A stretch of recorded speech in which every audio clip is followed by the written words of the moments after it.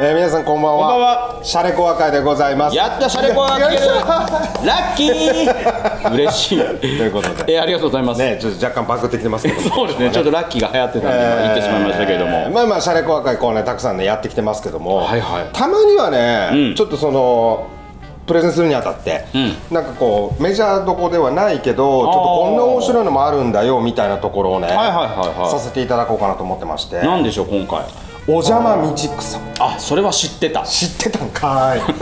却下でお願いしいやいやいますや知らんって。お邪魔道草は知らないですよ。何ですかあ画面が。大惨事発生。ちょっとねここ今画面を復旧させてねおじさん戻せない。戻りました。えー、ということで。何ですかお邪魔道草全然聞いたことないよまあね、あのざっくり言うと、はい。まあ、主人公がね、あることからとある家に関わってしまってほう。ちょっと不思議なことがその後多発するんですよ、へえ。若干ですけども、うん。自己責任系でございますので。大丈夫ですか？ええ。それを聞いたら？ー、うん？みたいえな大丈夫ですかこれ？ねわかりました。不安でしょう。聞きましょう。でも聞きたい。お邪魔道草いいですか？はい。じゃあいきますよお邪魔道草7年前の6月、夜10時頃自宅の電話が鳴ったんです。いつになくドキッとする音だったのを覚えてます、ん。相手はミュージシャンの馬場君からでした。どうもおかしい。口では説明できない。夜分申し訳ないがちょっと来てくれないか。馬場君はバンドの合宿所として、えー川越に近いとある一軒家に引っ越したばっかりだった、うんいつになく彼の神妙な声に嫌な緊迫感を感じたけど、まあ長い付き合いの彼の頼みだから行ってみることにした。うん。そして出かけようと玄関に出た瞬間目の前のドアを誰かがいきなりノックしてきた。開けてみると、友人の茅野君が一升瓶を抱えて立っていた。あ酒ね。いや馬場君に呼ばれてさつってね、こう出かける旨を話すと、うん。ね。馬場君とは面識もあるし単独で行くべきではないと思うので同行するよって言います。あ行くととりあえず車を出して、ん。まあ、その車内の中でねこう話すんですけど、はいはい。その日はたまたま暇でね急に私の顔を見たくなったって茅野君が言うわけ。でああなるほどね。でもともとね茅野君ってちょっと勘が鋭いんですよ、うんなるほど。でそのねドア開けた瞬間に、うん。この顔見た瞬間にあ何かあったなってピンときている。馬場君はいくつかの因縁を抱えた人で以前から問題を起こしやすいタイプの人でした。そうなんだ茅野君は私を通して馬場君の波乱万丈っぷりを知っていましたが、今回は今までとは違うように感じる、そういう点でね意見が私と一致した、うんなるほど。でこう一緒に行くんですけど、はい。車で30分ほど走った時に茅野君が突然「うわー!」って声どうしたかやがのびっくりするでしょ。びっくりしたそんなもん。え？うん。で話聞いてみたら一瞬道路の前方に身長50メートルぐらいあるなんか真っ赤な仁王さんがなんか来るなみたいなポーズで立ちはだかった。マジか？っていう俺だったら。え？仁王さんですよ。いや50メートルでしょ？すげえな。で彼はその当時ね仏像の知識なんてね持ってないんですよ。はいはいで適当にね思う見たまんまを言ってうん「仁王」っていうね、うん。表現をしてはで後日写真集を見せて確認したところ、うん。名部の中でも不動明王の立像に一番似ていたらしいんですけどなるほどなるほど。後々ね、はい見せたら調べたらね。そうそう、うん。仁王さんではないんです、うん。でも仁王って言っちゃったと。いなるほど。で初めての訪問だったので馬場君に最寄りの駅前まで迎えに来てもらっていたと、はい。で馬場君を駅で拾って、うん。で車の中で何事かと聞いてみたら、格安で2階や、うん。いい物件だと思ったがどうもおかしいんだよとにかく来てみてからこう意見聞かせてくれないか。おで到着したんですね、うん。で、えー目の前は高速道路が走ってて。で、三方を雑木林に囲まれた10個ぐらいこう建ってる分譲住宅の中にある一軒家、はい。で囲まれていない、えー開いた方のお道路に面した角に立っていていうん。大体築10年ぐらい。うん。で車を降りると、まあ、私はその家に向けてカメラのシャッターを切るうん梅雨の中休みといったような気候で蒸し暑い夜でした、なるほど。ハマったな。その場に立った時の率直な感想でした。はその家の外見で気になった点を挙げてみます。あうん。すべての敷地内の雑草が外側へ向かって伸びている。うん。敷地内の南西の角に3本の木。高さは2階の軒とお同じ、えーほぼ同じぐらいの、お3本の木が立っているはい。3本のうち南寄りの1本はあー立ち枯れになっている、分譲住宅なので周囲の家屋と同時期の、おまあ、あー築年数のはずだけども、痛みがそこだけ大きい。えー、そうなんだ。は隣の住人が網戸越しにこっちを覗いているのを気にかけながら中へ入る。い。まあまあむさ苦しいところだけどまあまあまあ入ってくれよと。馬場、君の誘いに玄関へ一歩入る、うん。玄関一歩入ってくっそ。あ匂いかうん。何これ？というのが内部を見た第一印象。はい。茅野君は開口一番「んん猫飼ってる?」私もそれに相づちを打つと。馬場君は「うんうちにはいないが周りには何匹か猫いるよ。匂う？あやっぱりな。いくら掃除してもこの匂い抜けてかないんだよな、玄関から上がってすぐ左が階段。うんで玄関西の方ですね、から正面東の方へまっすぐにこう廊下が。で突き当たりの右これが南東に当たるんですけどもがダイニングキッチン、はい。で左側がこれが北東なんですけどもそこが浴室になってる、で私たちは上がって右手のバンドの練習室に通された。うんうんうん。あ涼しいねここ、いやちょっとでも寒寒すぎないこれ、えエアコン、いや窓は？いや閉じてるね。ねねこれ窓閉じてんのに。めちゃくちゃ寒いんですよ。不思議だね。エアコンもつけてないんではいはいはで窓の外に妙に目立つものが見えたんだけど、よーく見てみたらそれは枯れ木だったんですね。いはいこの部屋が一番1階ではまともなんだよね。マネージャーの女の子がお茶を入れてる時にやっと馬場君が話を始めました。馬場君のまあ話している概要はですね、まずは1階で寝ているとうなされる。うんうん2階に全員がいている時に1階から話し声が聞こえる。うん。1階から上がってくる足音がしたのに誰も来ない。はい引っ越してきた時に押し入れの中にケース入りのゴルフクラブ一式が残されていた。台所に行くのをなぜかみんな嫌がる。うん。そういったような現象が起きると。なるほであと猫について次のような体験を話してくれました。どはい。昨日さ2階にいたら1階で物とかしたんよでね買い物に行ったやつが戻ってきたんかなと思って下へ降りてったのね、そしたら玄関のドアは開いてんだけど誰もいないんだよ。よく見るとさ近所の猫が入り込んでんだよね、ところがそいつなかなか捕まらないんだよ、でちょっと掴んだら必死で引っかいてきて抵抗すんのね、だから見てよこの引っかき傷。でそこでさこう窓を開けてやったんだ、ん。そしたらね今度は追い回してこう猫はこう窓を無視するんだよっつって、うんこう追いかけ追い回したんだけど、ん。でそのうち猫が玄関へ走ってったのね、であこれ出てくなと思ったら猫が急に変な行動をとるんだよ玄関に降りるや否や、ピタッて立ち止まって急に向きをくるって変えたのね、うしたら俺の足元を抜けて階段上がってったのよ。へえ。で2階の窓から屋根越しに逃げてったの。ほでさその玄関での行動なんだけど本当に変だったんだよ。なんか目の前に急に恐ろしいものでもいて慌てて引き返したみたいなあピョンって飛び降りてうわ。みたいな、ってってことね。うん、階段を登ってったみたいな感じだったんだよほうよっぽどなんか怖そうな雰囲気だったんだよね。でこの話を聞いた茅野君、いやその猫なんかに操られたんじゃない？私はその話の間も廊下を猫が行ったり来たりしているような感じがしていました。へえそうなんだ。その猫はたまたまそうなっただけで普段は生きていない猫がうろうろしているみたいだね。私がそう言うとすかさず茅野君は「ああそうだね。今も廊下をふっと影が通ったような気がしたよ」意見が一致したんですよ。ね。しかし大切なのはさっきの茅野君のコメントなの、私は茅野君の勘を生かすつもりで彼に尋ねた。はい。でも本体って猫じゃないよね。台所行ってみる？いやいや。今はやめとくよ。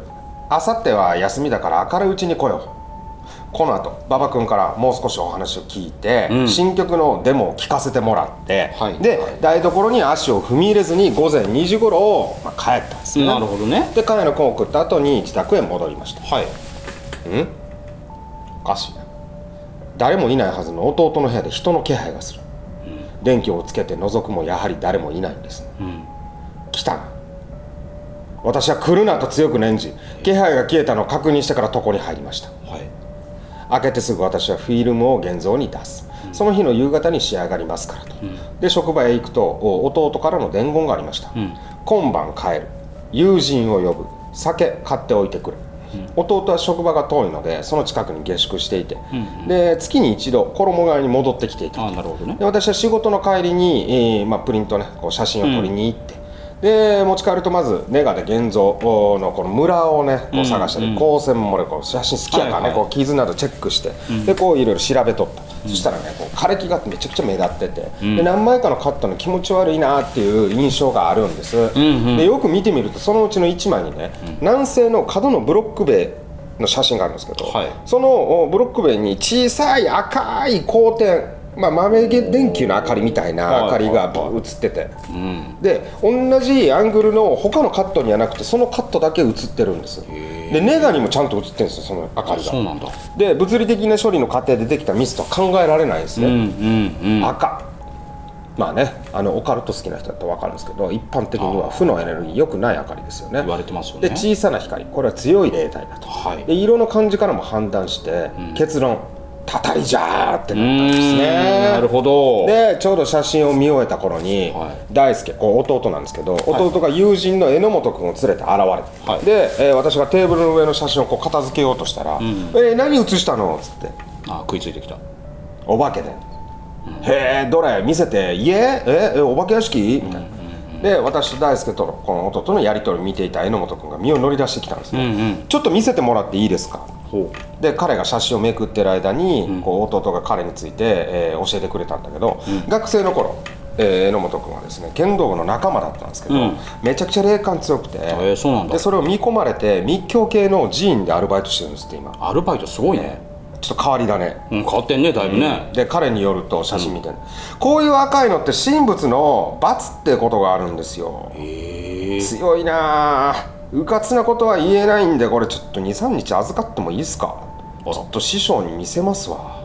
うん。僕だったらタダですね。みたいなね。ええ。ちょっと興味もありつつ。なるほど。でネガがあるので茅野君には焼き回して見せればよいと、はいはい。ということであの写真数枚をね榎本君に預けた、うん。で榎本君とこう遅くまで飲んでその部屋一泊して帰っていきましたと、で弟は馬場君の家に興味を示し翌朝、今日茅野さんと行くんでしょ？俺明日も休みだから一緒に行くよあ行くんだお前危ねえぞっつって。なんか取りつかれんじあるゃないのぞこれはでも。いやいや武道やってるからかもしれないけど俺そんなの平気だから。大丈夫なのか？で約束の勝負うん。茅野君が現れて、で3人で B 君の家ね。馬場君の家に向かったんですね、はい。であのー猫が気になってたんですよ、はいはいはい。私はね、うん。で途中鰹節のパックをねあ喜ぶからね。買っていこうっつって。はいはいはいで馬場君の家着くとちょうどバンドの練習しとった、でちょっとまああー待ってたら終わるからっつって。て、で待ってる間に建物の周囲調べようかってなって。はいはい。で、まあ、見てるとこう林が切り開かれてて宅地として分譲された場所のようであったんですけど、近くに古そうな農家が点在してるんですね、わざわざ木切らなくても農地があるのになってちょっと思いつつ、でだんだん土地の成り立ちが気になってきたんですよね、うんなるほど。でしばらく歩き回ってると水の気配がするんですよ。水？池か井戸。なんかねこあう溜まった水のあいい。気配がするんです。いいですね。もう一回いくよ、池か井戸。ああ嬉しい。井戸あいい。井戸がそこあー井戸上げしないやつがいいいいですね。にね限定はできないんですけどどっかにあったんでしょうと。はい。でそのうち馬場君の家が静かになって、ん。女の子がこう呼びに出てきたんですね。はい。で中へ入るとまず使わない皿を2つ貸してもらって、1個に水を入れてもう1つに鰹節をのせて、鰹節ね。で猫の気配がもうめちゃくちゃするところ、まあ、これ階段の下なんですけどそれを置くんですねはい。だからまあしゃがみ手合わせてね、でここにとどまるのは去りなさいと念じたわけなるですほどね。うん。そこから5分ぐらい経って、練習室でお茶を飲んでると廊下の方から「にゃー。おう。声が来たうん。あれ猫来たんです。ってはいはい。鰹節狙ってんじゃないっつって。馬場君が立ち上がって廊下覗いたんですよ、あれいないなっつって、で馬場君が首をかしげながら戻ってきて、はい。でまた話して。る、でその後猫の気配ばったりと途絶えたんですね。ほうほう。ところが、ん。この猫供養がですねは本体をつっついたみたいなんですよね。いえ？そうなの？3人でキッチン行きます。で6畳の広さがあるダイニングキッチン。誰もそこで食事を取らない。みんな行きたがらないからね、でテーブルなどの家具もなくて広いんですよ、でまずは写真撮影をする、何あれ？柱の上部に貼っていた紙を剥がした跡があるんですね。へでえきちんとね剥がさずにちょっとビリビリに剥がされてて、はい。でこう中央の方こう残ってる状態で黄ばんでてめちゃくちゃ古いんですよ、はしかもそこだけでなくて部屋のお四方にですねこう同じものがあってお札で何かを封じてるような感じがするわけなんですよ。はい。しかし破れた最も剥がれていないものに近寄ってみると真ん中が妙に黒いんですよ。黒い？何これ？っつって見てみると絵が描かれているような感じがしてて。黒犬。黒い犬みたいな。うん。で御嶽山か？みたいな。ねちょっと分かんないけどね。なんかはあうんみたいになってて、うん。でその時に足がチクチクするんですよ。はい。でその足がチクチクするってことはちょっと幽霊いるんじゃない？みたいになってきて、うん。で茅野君にね「なんか感じるでしょ」っつったら「うん、いるね。足ヒリヒリするもん」あ俺と同じだね」つってどの辺ひどいの?」つって「この流しの前のあたりになんかいそう」つって。うん「だよね」意見一致するんですよ。でそれまでね黙ってた弟が口を開くんですよ、大好きがね。確かすっげえ殺気あるねこれね。目閉じると今にも誰かが切りかかってきそうな気配するよ。あそれに昔痛めたらちょっと腰痛くなってきたわ、うんうんうん。ちょっと多分弱点というか弱ってるとこつついてくるんじゃないこれ。あ立ち悪いね。この感じ俺昔一回味わったことあるんだけど修学旅行でさ関ヶ原行った時これ同じこと感じたんだよすげえな。普段俺こういうの平気なんだけどここやばいね。何いんのこれみたいな弟が言ってですね。でここでねもし仮に見てしまうと危ないから、はい。ちょっと大輔には黙っとこうはいはいはいは帰ってから言うわ、いうんうん。で私はこれは猫のようなわけにはいかないなと、うんうん。ね、無理だなと思って馬場君に転居を進めることにしました。そね。そして私がもう23枚写真を撮るすると茅野君が「ちょっと気持ち悪くなりそうだからちょっと俺お茶飲んでるわ向こうで」もうしんどくなってきた。で台所出てった、うん。で、えー弟もね俺もそうするっつってねね、はいはい。出てったからちょっとそれについて私も出ることにしたんです、はい。練習室へ戻ると馬場君が横になって寝てるんですね、まあ明け方までちょっとバンドスコアを書いてちょっと眠たいと。疲れてる。でもなんか安眠してるようではないみたいで、ほう。うん、ちょっとうなされてるというか。ほで、えーマネージャーの船井さんがタオルケットをね馬場君にかけながらつぶやいてるんですね、でしばらくしたらうつ伏せの馬場君がうなされ始めるんですよ、うあらら寝言みたいな感じで「うん。うん」って言うてんですね。うん。あ？あれ？馬場君の方よーく見てみたら、ん。なんか気配がするんです。うん。か気配があるんです。はいはい。なんかね影のようなものが馬場君の上にうわーって乗っかってるような感じがするんですよ。はいはいはい。でカエラ君に「これどう思う?」っつって聞いてみると「あこれさ多分あの馬場君金縛られてるよね。これ金縛りでしょこれ」っつって、このなんかこの気配に押さえつけられてんじゃないの。あ黒いやつ。でカエラ君って直感ね、うん。あるからこう当てになるじゃん、はいはい。でそこで私は確信するんですね。うん。馬場君は意志が強くて行動力もあって、で、えー覚醒時は強いんですよ。うんうん。で従って疲れてうとうとしているような弱い時につけ込んでここの本体の幽霊が憑依してきたんじゃないか。やっぱ立ち悪いねちょっとね。ね、でそしたら船井さんが「え起こした方がいいですか?」っつって馬場君の肩をゆすったんですよ、でも起きないんですよ、ああちょっと待って意識が飛んでたらまずいから、期間に失敗するかも。戻ってくるのに。あ失敗するかも。無理に起こさない方がいいよ。って、で私は強くゆすろうとした船井さんを止め。て、でその時に茅野君が「あれなんか動いたな」馬場君の背中の上。うーん馬場君の背中の上3 0ンチほどのところにんーあー手見えるな。え？こうね手を持っていこうとしてるうわうわーっって。で彼は当てて手引っ込めたんです、ーうん。ちょっとやってみなよっつって。私にも促してくるんいやですよ。いやちょっとそんな。いえいえいえこれね茅野君にも見えたんですね、はいはいはい。やばいな俺らもちょっと影響受けてるなっつって、うん。私はそう思いながらね、あのとりあえずそのあの茅野君と同じように、うんうん。こう手をねこう出してみたんですね、はい。で動いてる影の輪郭を抜けて、こうずって中に入っちゃったんですよ。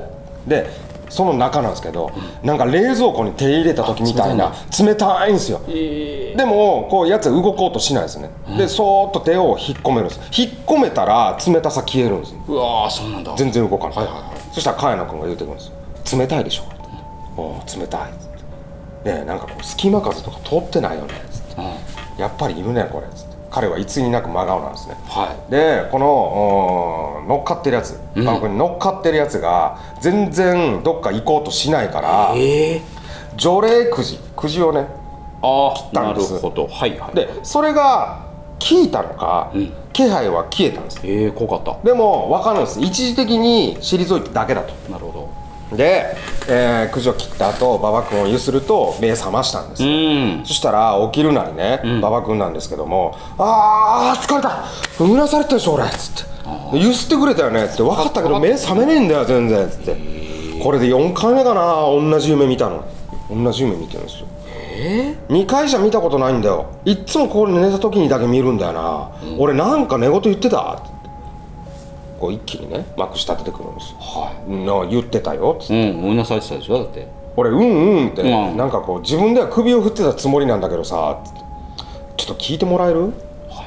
馬場君がね夢について語り始める。はいはい聞きたいねこれは。馬場君が見た夢っていうのは、なんか気が付くとね座敷に座ってるらしいんですよ。で広い座敷で30畳ほどあるでっかいはい広いね。ね、広いね座敷なんですけど、伝統もなくて作りも古い時代劇のセットみたいな感じ。はい。そこに座ってるとしばらくしてね少女が現れるんですよ。56歳の可愛らしい女の子、で赤っぽい振り袖を着てるんですね。なんか七五三の時に着させられる着物みたいな、うん。で髪もきちんとね言ってあって、はい。で時代劇だったら武家の娘さんみたいな感じの、でその女の子が「お兄ちゃん遊んで」っつってこうせがんでくるんですね、で遊んであげたいけどなんかねここを動いてはならないみたいな感じがあるんですよ、で動くと帰れなくなるかもしれないみたいな。あ怖い感覚。ねそういう感覚があって、うん。で少女にね「外で遊んできなさい」って勧めて。ね。でも聞き分けがないんですよ、遊んでよね遊んでよって言ってくるんですね、仕方がないから少しだけこの場所でうん遊んであげようかなと思ううんと、うんそれを察したのか少女はニコってして持ってったお手玉を差し出してくるんです。ねはい。さてどうしようと。そう考えながらこのお手玉を受け取ろうとする。うん。うん、その時に座敷の奥の方からうん「遊んでいてはいけません」っていうね母親らしき声が響いてくるんです。その間笑ってた少女の顔が真顔にで蒼白してね、顔が。うんで、あのーこの馬場君の影に隠れようとする、あ女の子が。女の子、うんうんうんちょお母さん呼んでるよ」っつって「行かない叱られるよ」って言うとね、もう怯えてるんですって。もう泣きそうな感じになって、うんそうなんだ。でそのしばらくしてからついにですよ、そのお母さんが座敷の外れから姿を現すんですね、で和服を着込んでスラッとしてるんですけど、で初めは遠くではっきりしないけど近づくにつれて綺麗な顔立ちでっていうのは分かるんですよ、うん。優しそうなお母さんですよ、でそう思って後ろ振り向くと女の子消えてるんですねおあれ女の子は？っつって、んでお母さんの方見向くんですね、ん。そしたらさっきねあんな綺麗な顔で優しそうな顔してたのにお女の子がいてないなっつってパッて確認もう一回した時のお母さんの顔面が般若みたいにええ。ものすごい怒ってんですよ。うん。でめちゃくちゃ怖いからあこれ逃げないとやばいってなって、んうん。えーそう思った時に夢から覚める。あ必ず。あこれ4回見てるんですよ。なるほど。で馬場君がその話を終えた時にバンドのメンバーがね2階から降りてきて、でこれからライブの打ち合わせにみんなで出かけるっつってて、うん。で腰を上げて私たちも帰る支度を始めるとね、天井の方からあーいやまあ2階からタッタッタッタッと誰かが走り回るような足音がするんですね、で全員それは聞こえてて、ん。一瞬みんなピタッ誰？みたいになったんですうん。みんな降りてきてるからね。そうだね。これさ2度目だよなって、2階誰もいないのにこの足音ああなるほど。うんで馬場君が言うとメンバー全員がうなずくんです、そしたらそのタイミングで海外君がすかさずに、大人だとドスドスって足音になるからあれ絶対子供だよ実際2階で子供が走り回ってるとあんな足音になるんだよねって。いう、そしたらみんな黙って次の音を待ったんですけども足音は聞こえない、でみんなが出かけていって我々も帰ろうっつって。はい。で自宅へ戻りました、ん。で、えー写真などを元にですねこう背後関係をちょっと見てみたんですね、で霊感あるんでね。でこう一回歩き回っている本体は千数百年前の音量だったんです。ええ。何であるかはちょっと伏せておきます。土地へ縛られてはいますがこういろんなところに出張して動くこともあるのでうかつにそいつと波長が合うと危険。うわ怖っ本来はこの土地のものではなくて因縁を背負った不幸な一族に取り付いた状態でやってきた悪霊なんうですね。だな。一族を斬死に追い込みながら強烈な結界を形成して自らを土地に呪縛してしまった形となりました。負の結界はその吸引力により捕まえられるものは何でも取り込んでしまいます。ー。写真の中には犠牲となった浮遊霊などが多数見られました。うん。そしてその中に決定的な取り込みがありますある時気がおかしくなった住人がいてとんでもない大変なことをしでかしたんです。はい。屋敷を増改築する際に、同祖人が邪魔になりわ。なんと石仏を井戸に投げ込んでしまったようなんです。ええ現代ならまだしも普通の昔の人がそんなことするはずはないんですよ。よほど多分狂った状態だったんでしょう、はい。おまけにその井戸っていうのはその後そのままの状態で埋められていうるわーこれは最悪だね。榎本君が神仏の罰かもしれないって言ってたけど、はいはいはいまさにその通り。なるほどね赤い点がね。うん。で本体を核とする結界内で井戸の石仏が新たな強い核として存在してていわばブラックホールが二重にあるような形。うわーすごい表現だね。で例のあの女の子。はいこれらの吸引に引っかかってしまったもっと新しい一族の女の子なんですね。なるほどね。で今から百数十年前ぐらいの子、うんうん。で母親が怨霊にやられたために苦しめにあっていて、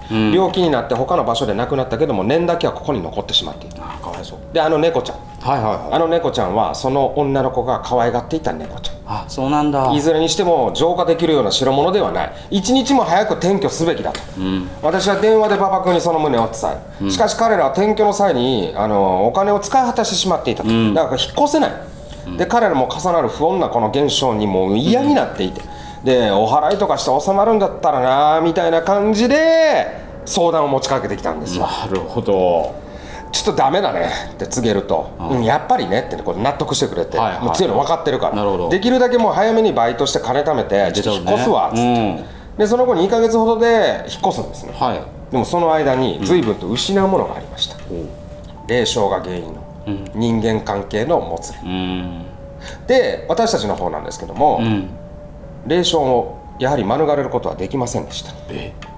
翌日、夜です。榎本君から連絡があった次のような内容。あの後バイト先へ行くと師匠がね、榎本君の師匠が彼の顔を見るなり「お前どこ行ってきたんだ」っつって、うん。ちょっと怒ってるんですね。で彼を本土へ連れて行くと「ちょっとお前払うからそこへ座れ」っつって。えで自分の背後をうんちょっと見えにくいものだからなと言ってこう除霊をしてくれたんです。はで浮遊霊がついてくることはよくあるんですね、いうん。でもこう普通は寺にいるうちに自然に落ちてしまう。うんうん浄化作用があるからなるほどね。うん。でわざわざ払ってくれるっていうのは珍しいんですね、うん。そしたらかなり危ないことにお前関わってるねと。やめときなさいと。は言うから預かっていた写真を見せて今知ってる限りの情報を師匠に話したんです、いはいはいはそしたら師匠がこう教えてくれて、鑑定結果ですよ。いなるほど。お地蔵様が抜根をしないまま捨てられ埋まっている、その下には水脈がありお地蔵様は泥にまみれておる、その結果その土地には仏鉢が下っておりその後性質が逆転して怨霊の住みかと化した。また惨殺された者がいてその殺傷因縁が凄まじい。意識を飛ばしただけでその怨霊が切りかかってくる。ある部屋にお札が貼ってあるが全く効果はない。命がけで退治すれば怨霊は何とかなるかもしれないが仏鉢の方は手の施しようがない。ここに関わるのは命を捨てるようなものである。自分なら頼まれても絶対に拒否する。出てきたものついてきたものを払ったり追い返したりすること。すなわち除霊は可能だが条例は難しい、なるほど。ましてや土地の浄化などとんでもないことだ。そっとしておくしかない。触らぬ神にたたりなし。一日も早く手を引かないと命に関わる。日本で有数の祈祷師であっても現状では無理だと思う。ええ。そこ一帯をほじくり返して整地する覚悟があれば可能性が見えなくもないがそれにしてもわざわざ命を懸けて浄化するメリットが見当たらないそれにこの土地がそのようになってしまったそもそもの原因は日本史以前にまで遡る。もちろんそれを調べる必要性はない。このようなスポットはところどころに存在するので気をつけなさい。しかしながらこのような土地に引きずり込まれたのにはやはり何らかの因縁があるんだろう。部外者にとっては考えようによってはいい経験だが当事者つまり住人にとっては死へのいざない。因縁を自覚しないとまたどこかで引き寄せられるだろう。引っ越しの際には全ての家具に粗塩を振りかけできるだけ早期に除霊の祈祷を受けなさい。そういうふうに言われたんですね。はい。死人が出ないうちに手を切った方がいいと。榎本君はこの他にも自分の考えなどを教えてくれました、うん。この内容は茅茅野君にも伝えました、そしてもう行くのはよそうねと、うんうん。そういうふうな話になったんですがなるほど。実際には問題が持ち上がってて1週間後もう1回だけ足を運ぶことになるんであすそうなんだそれはさておいてはい。しばらく悪影響が続くんですねうんうん。私の自宅で最も頻繁だったのは弟の部屋、誰もいないはずなのに人の気配、ボソボソと話し声が聞こえる、何らかの関連がある浮遊霊のようだと、うん。で電灯をつけたり帰れと念じたりするとすぐに消えるんですね、で週12でそんなことがある。また私があー独居をね、えーしていると、背後に気配がするんですね、しかも鳥肌が立ってくるようななんかそんな感じの気配がすると、これが数回あった、でこれはあの本体の方ではなくあの手下。手下。付属霊。は本体についてる親玉についてる付属霊のようだと。で気合を入れて、えー行を続ける特許をね、続けるとそのうちに消えていくはい。で、えーお帰り願っただけで決して浄化しようとしたわけではないんです、うんうん。このような付属霊えーだけだったらなんとかなるんだけど、芋づる式にどんどん来るんですって。そうなんだ、うん、でわこの芋づる式に出てくるもんだからいずれ本体と接触してしまう可能性が。ね。だから浄化なんてとんでもないと悪影響は茅野君にも及んでいる、彼が仕事から帰ってうとうとしていると自分が畳の上に座っている感じがする。嫌な感じだなと思った時に周りの様子が見えてきた、あの馬場君が語ってた夢の中に出てくるあの座敷なんです。あああれね。で茅野君は少女が現れてやがて恐ろしい母親が出てくることを聞いてるから分かってるんですよね。ところがその気配が全くないんですね。あ。これ夢だから覚めなくてはと。しばらくそう考えているうちについに座敷の奥から近づいてくる足音が聞こえてくる、はいはね、あの般若の顔したお母さん,、はいはい彼は筆舌しがたい恐怖感を覚えたそうですと。どういう意味やねん。書き表せれないってことでしょ？筆舌ひあ下の方か？わかんない。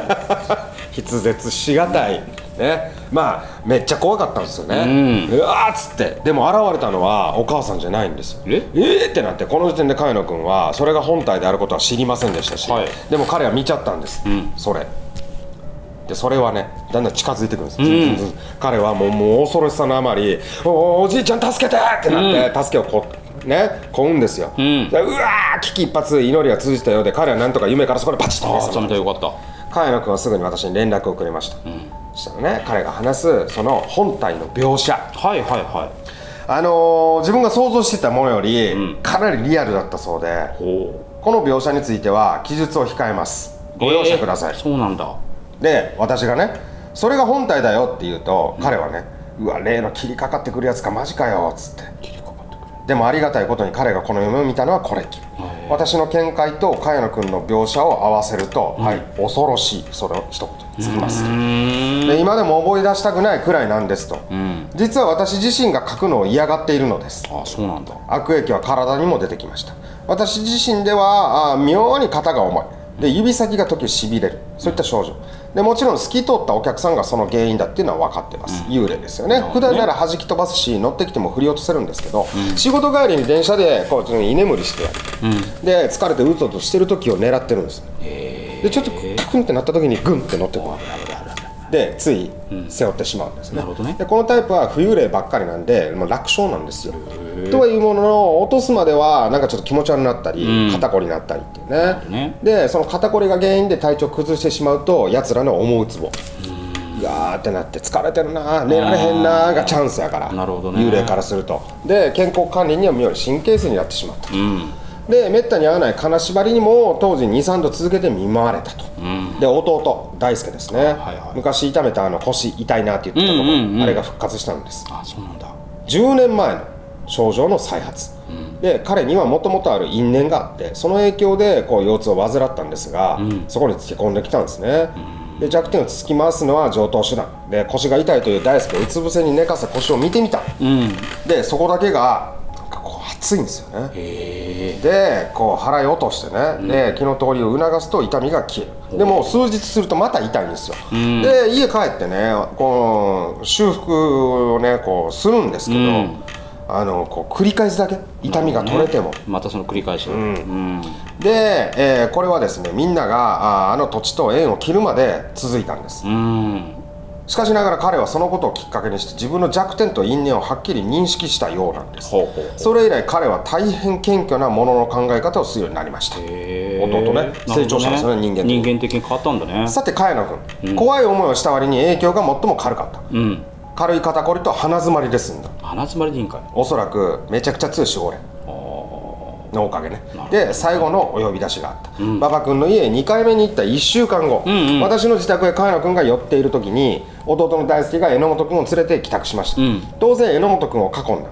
でお化け屋敷からの撤退という臨時作戦会議になった、で結論はあー、まあ、影響下からこう、ね、離れることができたらきれいさっぱり縁を払い落とそう、でもう関わらないでおこう、そう決心した時にブルルルって電話が鳴るんですね馬場君から。で状況が悪化したのですぐに来てくれと、家の中の様子ももうやばい。もうバンドが分裂しそうだ。いやいやいやいや。やばいやばいっつって。もうこっちの断ろうとしたんですよ。ん。でも馬場君がね必死にお願いしてくるもんだからもう断れなくなって、で茅野君と2人で出かけたんですね。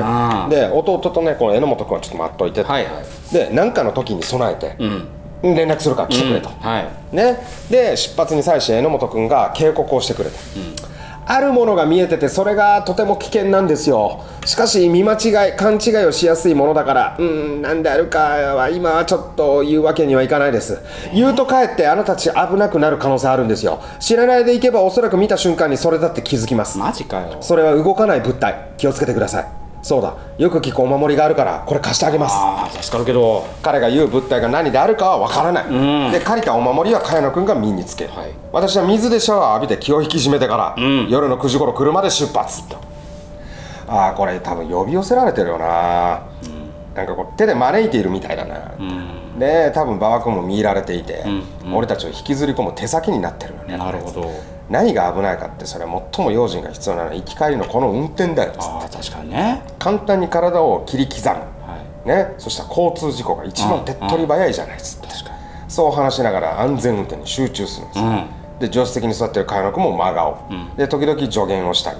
で彼自身もハンドルを握っているつもりで細心の注意を払って2人で緊張しながら行く、で近づくにつれて緊張感がやっぱ高まってくるんですよね、で茅野君もね同じような状況で彼の言葉を借りると、敵陣深く乗り込んでいくっていうのは映画だとワクワクするんだけど、現実は違うぞと。なるほどね。ね。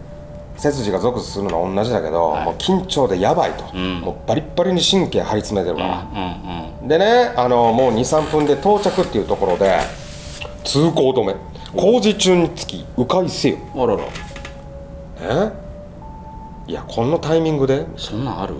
で茅野君は文句言ってるんですけど、こういう時にこそこういうね障害が出てくる、ね大体わかるじゃない、なよくでこう迂回してね、行くわけですよ。で矢印の通りハンドルを右に切って、で前方に交差点があって、はい。で迂回路を示した地図にあった通りそこ左折するわけですよ、でもう一回左折すれば左左左なんで、元に戻ってくるはずなんですよね。で 300m ほど進んだら舗装が途切れて砂利道になってる、あれちょっとやばくないかなっつってで少し行くと舗装路に戻ったんです、でほっとして前方を見てみると路肩に白い車が止まっている、嫌な感じがするんでちょっと徐行したんですねスピードを落として、で徐行したんですけど嫌な感じはさらに増すんですよ、あれなんか違うなちょっと戻るっつって、で私がそう言うと茅野君もそれに同意してきて、で道幅がゆ狭いから U ターンできる場所をちょっと探す、で前方のその白い車の先はちょっと広くなってるんですよ、はい。でそのまま車を進めて白い車にあと4 5メーターぐらいまでこう近づいてくるんですね、でライトを上向きにして車を照らし出しました、廃車なんですよフロントガラスが割れててこうツタが絡んでいるであこれ見た瞬間にもうつ冷たいものが後ろを走って、ね。もうこれはやばいと、ん。近づいたら絶対やばいから、はい。でブレーキを踏もうと思った瞬間に茅野君が「ダメ止まって戻ろう!」っつってね。で茅野君も同じものを感じたようで、バックバックバックバックで戻ろうっつって。そっちの路肩見てて。っつってでもう車を交代させて砂利道を抜けた、はい。で舗装路に戻ると道幅の元に戻ってこうね元通り。なるほど。ですねで、えー途中で別の迂回路を見つけたんです、であの舗装されてないので路地と勘違いしてでさっきは見逃してたんですけなるど。ほで道を確かめると通行止めの方から地元のものと思われる軽トラックがやってきたんですね、はいはいはいであのその道へ入っていったんです、あだからこれ正しい道やなって。うん。だからついていこうっつって。で1分ほどついて走ると元の道へ戻ってこれて馬場君の家が見えてきたで先ほどの道について馬場君にね、聞いてみたんです、で図書いてあの廃車の位置とかをね、こう説明したんですよ、そしたらあれ？その道高速道路にぶち当たって行き止まりなんだからな。高速の壁とか見えなかった？俺行ったことないんだけどさ。でもさその辺の道って両脇が畑だったりするからさ路肩が崩れたりするとはまっちゃうよ。って馬場君には分からないようです、そうするとバンドのメンバーの後藤君が口を挟みました、はい。その廃車の先道ありました俺バイクで前そこの道に入り込んだんですけど廃車で行き止まりその先は藪になってたんですよ。昼間だったから辺りもよく見えたしでも変だな、その廃車のところのおよそ10メーターだけが舗装いやアスファルトじゃなくてコンクリートだったっけな。あそうそう。近くに廃屋なかったですか？見るからにお化け屋敷。あ夜だと分かんないか。でも確かに嫌な感じの場所だよね。墓でもあんのかな、私は榎本君の言葉を思い出して電話を借りました、あもしもし大輔？榎本君と変わってくれる？いや榎本君もしかしてさ例の物体って車？あ。うんありました？僕に見えたの。あれですよ白い車。白い車が止まってるところです。ものすごい冷気があるから近づくとそれに捕まるかも。でもすぐ分かったでしょ？えそんな近くまで行ったんですか？いや危なかったっすね。そっちにいると見る力が弱まるか曇るかするんで気をつけてくださいねあえて言わなかったのは白い車ってどこにでもあるじゃない。あるある。確かに全部に気を取られてると見落としてしまう可能性があるからかえって危ないから言わなかったんですね。ええ。残念ながらこの場所の真相は分かりません。はこの後確かめる機会がなかったからでいす。なるほど。またそうしようとも思いませんでした、はい。で馬場君宅と関係があるのは間違いないんですね、うんその白い車が、ね。うん。で霊障を受けないように気持ちをしっかりさせて、で土地の邪気は強く捕まりかけたようです、うん。でバンドの他のメンバーがですね夜食の買い出しに出た後に馬場君が話してくれた、彼が訴えたこの1週間の間に起こった現象は次の通りなんだまず1つ目、はい。3日前の雨の時近くにえー雷が落ちたと、でその影響でシンセサイザーとかのデータがぶっ飛んでしまって、で買い替えねばならなくなった、ん。でとりあえずはレンタルでしのぐんだけど金がかかると、で引っ越し費の積み立てが滞ってしまう。場合によっては来月ライブがあったのにそれもねキャンセルしないといけない。うんなるほどね。2つ目。ギタリスト兼アレンジャーの葉山君がとある人妻人妻とできてしまって。でその影響で音楽への熱意が別の方向へ向いてしまう。ええ。でも他のバンドにこうねヘッドハンティングされた。なるほど。でこれ名前、えー、郁恵さんっていうんですけど、はあ。人妻がね、うんこう郁恵さんの写真があったんで見せてもらったところ、すげえ因縁持ちの女性なんですね。ええそうなんですかあってよくないです。わかるんだ、うんでそのうちの不要な1枚をもらい受け持ち帰って後々榎本君に見せたんですって。ああそしたら「あこの人の目人間じゃないね」ええこれ操られてるよ」榎本君が言うんですって。これやばいやばいやばい。なるほど。なで後で分かったことですが馬場君宅を仲介したのは郁恵さんに紹介された不動産屋さんだったへえそうなんだ。で入れ替わりの早い物件は礼金で稼げるんじゃないみたいなね。うわなるほど。操られてね。はいはいで3つ目1階では寝ないので例の夢は見なくなったんだけど2階で寝ていると胸の上に何か乗っかってきてこう重みがこうズンってするようになったんですね、でそれほどの重みじゃないんで目開けてみると消えるんです、うん。だからあの子供なんじゃないかと。なるほどねで布団を敷いた後しばらく1階に行き用を済ませて戻ってみると布団の中に誰かがいたような感じがすると。あでシーツを触ってみると寝汗かいた後のように湿ってると。ああるよねそういう感じね。あるんかい。寝汗かいた感じの湿ってる感じあるでしょ。うん一回一回戻って自分の部屋戻って湿ってることがあるんかなあるあるある。あるんかい。分かんないけど。霊障やないかそれ。でね、階段を登ったりこう降りたりする音が2度ほど聞こえて、2回ともね深夜2時頃なんですって。なるほど。で家の周囲を歩き回ると足をつかまれるような感触がして、ちょっと足が遅くなるんです歩みが。でぼーっとしてるといつの間にか足が釘付けになってしまって、はっ！って気がつくとその場に立ち尽くしていることがある。それはやばい。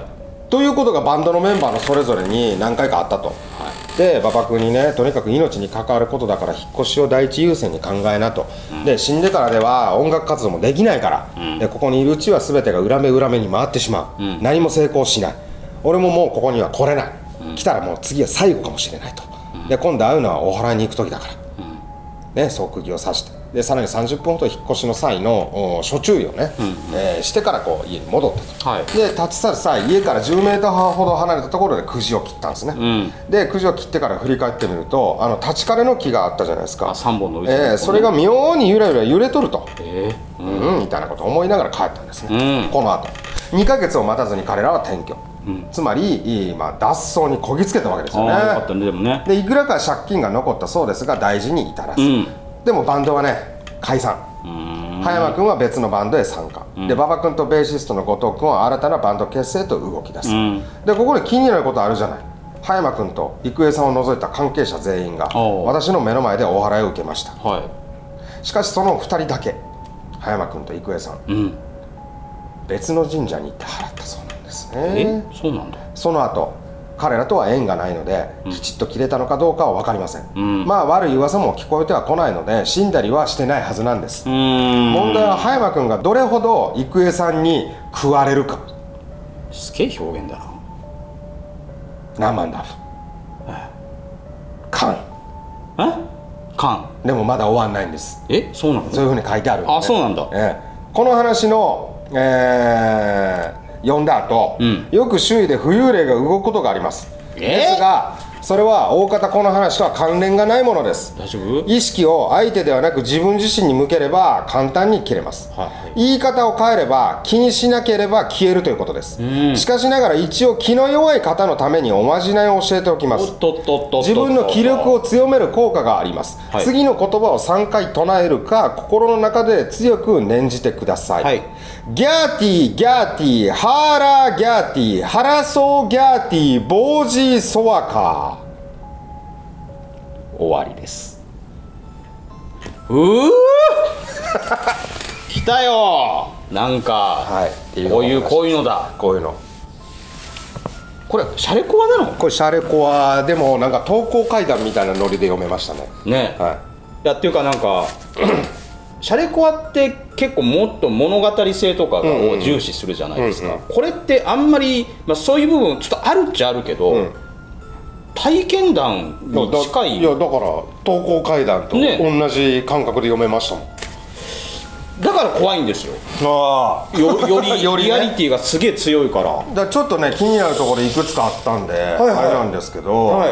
まあまあでも最大の謎あれですよね 50m の仁王様が来るなって言ったとこあれ引っかかりません？そうだ。一番最初に近いとこって向かう時でしたよね、うん急に現れて。そう。あのタイミングで戻れとけば何もなかったああよまあそうだよね確かに。でもあれ何なんだろうなって考えたら、おそらく茅野君守ってる守護霊が守護霊がめっちゃ強いか。らあなるほどなるほど、だから多分それかなってね、はいはいはいはで茅野君って一番霊障が少なかったんで多分そういうことそうん鼻詰まりとかそれぐらいでよかったっていうね。のがあれだもんね。いやだからなんか結局本当にその場所因縁めいたその場所に引っ越すように進めてきたあの郁恵さんが一番悪い。悪悪いね。だからでもそれもなんか取り込まれてるというか。そうじゃあそのバンドのメンバーたちをなんでその家に招く必要があったのかっていうところも、そうだよね。だから全部が全部明らかにならない怖さっていうのももちろんあるし。